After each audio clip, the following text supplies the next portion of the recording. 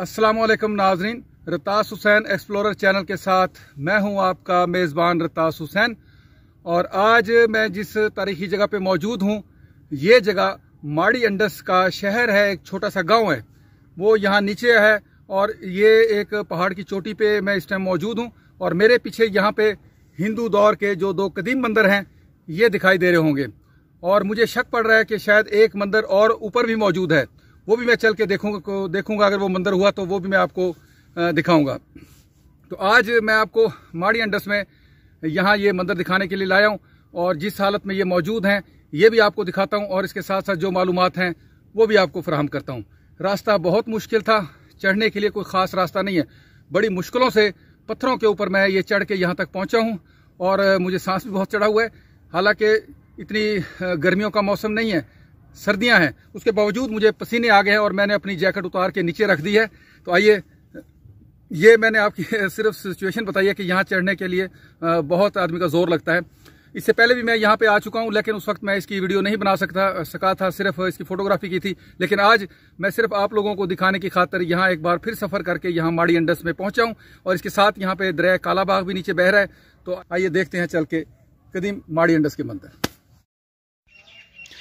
माड़ी शहर या पुरानी माड़ी? दरिया के किनारे पहाड़ की दो शाखों के दरमियान एक वादी में वाक़ है, ये शहर सड़क से नज़र नहीं आता अलबत् कालाबाग के दरिया के किनारे से इस शहर के कुछ आसार दिखाई देते हैं। सड़क के रास्ते से जाएँ तो माड़ी अंडस के करीब ही एक बहुत बड़ा मोड़ आता है। इस मोड़ से मशरक़ में पहाड़ के दो हिस्सों के दरमियान एक तंग सा दर्रा है।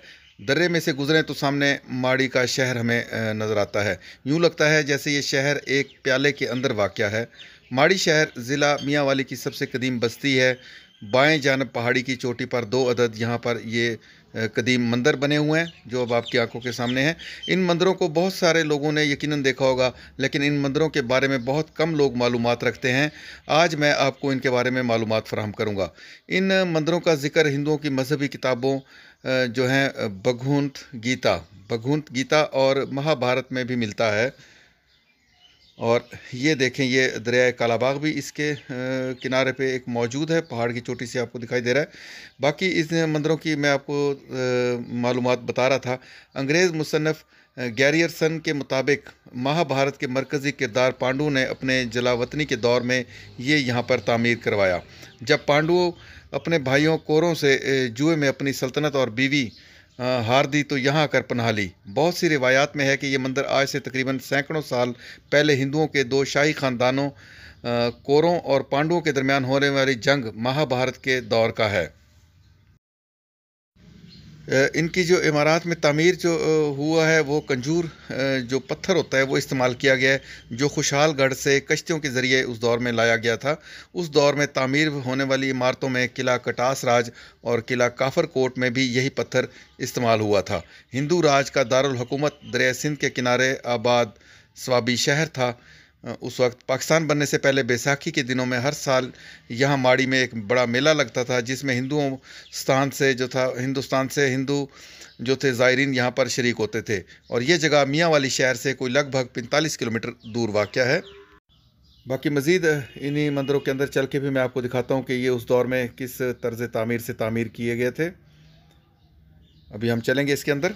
ये देख लें नाजिन ये इसका फ्रंट जो एक डिज़ाइन था और ये अंदर से दो मंदिर हैं। ये देखिए, अंदर आके हमें महसूस होता है कि ये अंदर से दो मंदिर हैं। ये ऊपर देख रहे हैं उसका गोल जो गुंबद नुमा महराब है और उसके ऊपर भी फूल वाला वही डिज़ाइन बना हुआ है, जबकि बाकी हम दीवारों पे देखें तो खूबसूरत डिज़ाइनिंग के आसार, नकूश उसके अब भी दिखाई दे रहे हैं। और यहाँ से ये देख लें आप कि इसमें इस इस जानब से भी दराड़ पैदा हो चुकी है, जबकि इस जानब से हम देखें तो यहाँ पे भी वाज तौर पे ये दरार दिखाई दे रही है, जो ऊपर तक जाती हुई नज़र आ रही है। और अल्लाह ताला माफ़ करे, वैसे ये बड़ी इस टाइम डेंजरस सी जगह पे मैं मौजूद हूँ। ये देखें, पूरी छत तक दराड़ इसके अंदर मौजूद है। खुदा ना खास्ता, अगर ज़रा सा भी कुछ ज़मीन हिली या ये अपनी म्याद पूरी कर चुका। तो ये कहीं आने वालों के लिए उनके ऊपर ही ना आ गिरे। ये देखें यहाँ पे भी इसकी दीवारों में वाज तौर पे ये देख लें दराड़े मौजूद हैं और ये किसी भी टाइम ज़मीन बोस हो सकता है हाँ, सकता है। ये देखें ये अंदर लकड़ी के उस दौर के तख्ते देखें फटे जो हैं शतीर वो लगे हुए हैं। ये देख लें लकड़ी अभी तक मौजूद है, ख़राब नहीं हुई। और ये देख लें, ये जो मैं दराड़ की बात कर रहा हूँ, ये दराड़ इसके चारों जानब यहाँ पे भी मौजूद है और यहाँ पे भी ये पूरी दराड़ ऊपर छत तक जाती हुई दिखाई देती है। ये बहुत इस टाइम डेंजरस जगह है। ये यहाँ पे भी फटा होगा, जो कि यहाँ से निकाल लिया गया है। ये ऊपर इसकी छत देख लें। बिल्कुल उसी तरह गोल, मेहराब नुमा छत बनी हुई है गुंबद की तरह। जबकि उसके साथ साथ इस तरफ़ भी लक, लकड़ी का उस दौर में तख्ता मौजूद होगा लेकिन अब वो मौजूद नहीं है। साथ के साथ ये डिज़ाइनिंग इस पर बनी हुई है। और इसका नीचे के फर्श जो है वो आप मुलायजा फरमा लें। ये देख लें। लकड़ी को मैं जो इसमें लगी हुई है तख्ता वो मैं एक बार फिर आपको दिखा देता हूँ। ये लकड़ी इसमें लगी हुई है, उस दौर की लकड़ी है और आज तक ये लकड़ी सही सलामत मौजूद है और इसकी मजबूती के लिए गालबन ये लकड़ी उस दौर में स्पोर्ट के लिए यहाँ पे ये लगाई गई होगी और आज भी मौजूद है। बहुत डेंजरस यहाँ पे मुझे खड़े हुए महसूस हो रहा है। अगर खुदा न खास्ता ये गिरा तो मेरे यहाँ बचने के इम्कान भी नहीं होंगे, बिल्कुल। और ना ही किसी मेरे जानने वाले को पता है कि इस टाइम मैं कौन सी जगह पे कहाँ पे मौजूद हूँ। और ना ही इस वक्त इस पहाड़ी पे कोई आएगा। ये देख लें। और यहाँ से ये देखें, जो शहर है, उसका एक व्यू। ये यहाँ पे यकीनन इसका दरवाज़ा होगा। और मेरा जो अपना ज़ाती ख्याल है, वो यहाँ पे एक अंदर और दरवाज़ा यहाँ पे मौजूद होगा। उसके बाद अगला मंदिर, जबकि फ्रंट पे, यहाँ पे भी उसका कोई ना कोई दरवाज़ा मौजूद होगा। आगे चलते हैं हम दूसरे मंदिर की तरफ़। वो भी मैं चल के आपको दिखाता हूँ।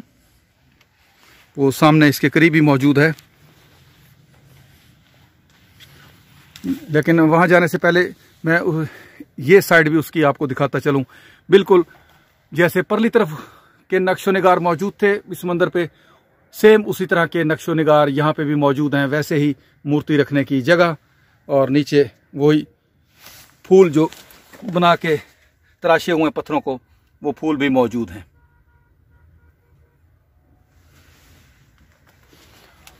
आइए चलते हैं हम अब दूसरे मंदिर की तरफ़।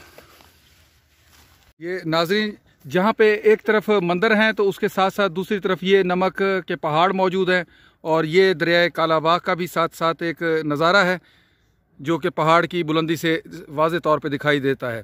लेकिन आज चूँकि बादल छाए हुए हैं और हर तरफ़ हल्की हल्की धुंध है, जिसकी वजह से इतना क्लियर नज़ारा आपको नज़र नहीं आ रहा होगा, लेकिन ये बहुत खूबसूरत और दिलकश नज़ारा यहाँ से आप अगर आएँ तो यहाँ से ये आप मुलाजा फरमा सकते हैं।